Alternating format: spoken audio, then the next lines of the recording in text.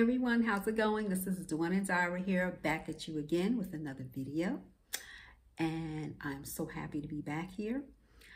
Um, as always, I want to say thank you to everybody for subscribing to the channel, for listening to the videos, watching the videos, sharing the videos. I totally appreciate you all. And um, with all that said, we're going to jump right into it and this is going to be a video titled What is Discernment? Okay, now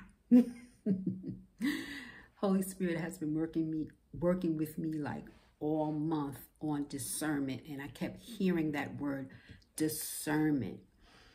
I don't know if I heard it before in the past when I was in the church, but this is a word that's very big when it comes to loving the Holy Spirit, loving God, loving um, being a child of the Most High. Discernment, discernment, discernment. And what discernment means to me is the ability to judge well, listening to the Holy Spirit, and also knowing if it's in God's will for you. Those are the three things that we're going to touch on. I have some scripture that I'm going to pull up.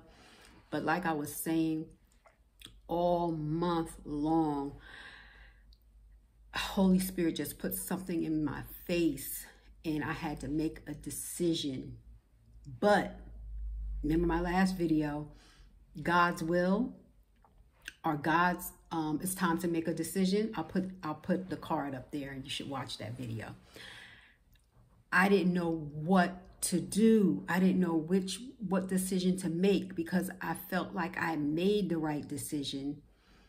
Um it I don't want to get into it because it's kind of personal. You know, I'm very personal, y'all. I can't tell you all my business. But um I was feeling a certain type of way about it. And I didn't I wasn't sure about um a surrounding that I was in. Let's say that. Nothing bad or anything. But um, I needed discernment. I had to ask the Lord for discernment. I, I need you to tell me what to do in this situation, Father. I don't know what decision to make. You guided me here, okay? And now that I'm here, things are not, you know, how I thought they were going to be. And um, then I started, when I prayed that prayer and asked the Father to help me with this, then I started seeing videos about imposters and false prophets and um, things of that nature. So y'all kind of know what I'm talking about, right? it had to do with um, the whole spiritual sector or the Christian church, let's say like that, okay, or quote unquote believers. They have all these titles, y'all, and y'all know I don't like titles. But anyway, I had um befriend some people, let's say that, who were believers. and then I'm starting to realize like, wait, hold on. They they just not mm-mm. No, they not who they say they are. So I needed discernment. I had to pray on discernment. And um, it wasn't easy, y'all. It was not easy. But finally, this week I had a breakthrough. This week I've been fasting. I'm on day five. Liquids and vegetables. Very small portions. And um, I didn't even know if I was going to make this video okay? Because it's just something like, I don't know if I'm in the right mind right now. So Holy Spirit, you got to talk through me. So what is discernment? I just had to put that out there just so y'all know what this is. Discernment, like I said, it's the ability to judge well. Is it in, is it in God's will for you? And it's listening to the Holy Spirit. So I just told y'all I needed to judge. I needed to judge well on this decision that um, I found myself in. and I needed to know if it was in God's will. And also, I had to listen to the Holy Spirit. And that's what you have to do when it comes to discernment. Any of y'all out there who are lovers of the Lord, lovers of the Father, you're in your word, you're meditating on your word day and night, and that's, you know, you're praying on it, and you're not leaning on your own understanding. You know what I'm saying? This is a video that's for you. And even if you're not, this should still be a video for you if you're here looking at this now. Okay, so I'm going to pull up Proverbs chapter 3, verse 5. That's one of my favorite scriptures. That's um I just said it, trust in the Lord with all with all your heart and lean not on your own understanding. In all your ways acknowledge him and he will make your path straight. This is a NIV version. I probably said it a different way, but that's what it is, y'all. When you really truly truly truly love your father and you listen to his word, this is something that I have to have on everywhere, this scripture. Trust in the Lord with all your heart. Lean not on your own understanding. In all your ways, acknowledge him, and he will make your path straight. We cannot lean on our own understanding. When we're going through a difficult time and we don't know what to do, we've done everything, we've tried everything. Now's the time when you just have to stop and be like, okay, Father, I need you to help me. I'm not leaning on my own understanding right now. I, I can't. It, it's not working. I don't know what to do. And trust me, he will show you a sign. He will speak to you through other people. And you'll know what decision to make. Now, when we're caught up in the flesh, we'll just be like, well, you know what? I don't, I'm not listening to that. I'm going to do what I want to do. Okay. And then most of us know when we're not obedient and we do what we want to do and don't listen to the father. We don't look we don't listen to the signs. We don't hear the holy spirit speaking to us having that right hearing. When we don't do these things there's consequences and the consequences are not good. They're not good at all okay? I've been there done that. And i don't want mm-mm, no no i'm not messing with the father. I am not messing with the father. No way I will not, I will not, I will not. I have learned my lessons. I want to pull up another scripture, Philippians chapter 4, verse 6. I'm going to make this real quick for y'all, okay? Philippians 4, chapter 6 states, Do not be anxious about anything, but in every situation, by prayer and petition with thanksgiving, present your request to God or present your request to Yah. Yahshua, Yeshua. okay?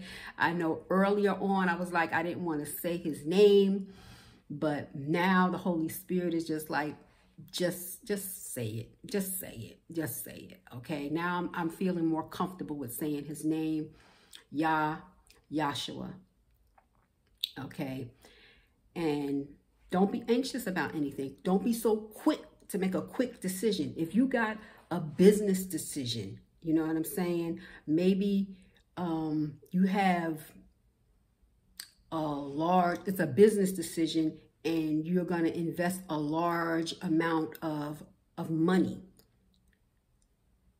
Don't be anxious. Always take it to the Father.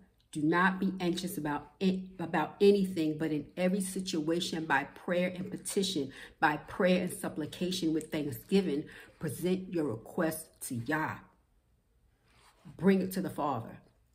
Bring it to the Lord before you make any decisions. I'm telling y'all, this is that season. This is that time when we cannot lean on our own understanding. Um, this fast has got me just having my my eyes just open to certain things that are going on, not just in the, the physical, but in the spiritual. All right. We have to be careful. We have to use discernment, discernment, discernment, discernment. my next scripture is my favorite. I have a few of them. Romans 12, verse 2 Do not conform to this world, but be transformed by the renewing of your mind. Then you will be able to test and approve what God's will is his good, pleasing, and perfect will. I like the King James. That was the NIV translation. I'm gonna I like the I like the King James version. And be and be not conformed to this world, but be ye transformed by the renewing of your mind, that ye may prove what is that good and acceptable and perfect will of Yah. Hallelujah. That's what I'm talking about, yo. I love that one. That one is my favorite. Do not be conformed to this world, to their way of thinking. Renew your mind, renew your subconscious mind, and um, prove what is that good and acceptable and perfect will of God, that perfect will of Yah, the perfect will of the Holy Spirit that's within you, that's guiding you. You feel me? Use discernment, y'all. Don't lean on your own understanding. Don't listen to other people. They may not feel you where you're going right now. Oh, yeah, you back in your Bible. You reading your Bible. You studying your Bible now, and they may not like it. So what? Goodbye. Next, okay? Continue to study your word, y'all. Consider... That's that fast. That's that fast. Continue to study your word, everyone, okay? Meditate day and night. There are three scriptures that I want to share with you that you should read before you go to bed and when you wake up in the morning. Is Psalms 91, Psalms 27, and Psalms 23. Okay, these are powerful prayers. They're Psalms they're in the book of Psalms, they're prayers, and these are powerful prayers that help you with spiritual warfare. It helps you with letting you know that the Lord is your shield. It's just awesome. I mean, I read these prayers every night before I go to bed. And um, they have helped me out tremendously, especially this month, like I said, where I had this decision that I had to make. And the Lord just showed me through other people. He let me know what was up. And um, everything is good. Everything is great. We're in 12 minutes right now. I'd like to think that this video has helped someone. If it helped just one person, that's all that matters to me. Discernment, discernment, discernment. Is it in God's will? Having right judgment, being able to judge well, and listening to the Holy Spirit. The Holy Spirit is our guide, okay? He guides us. Listen to him.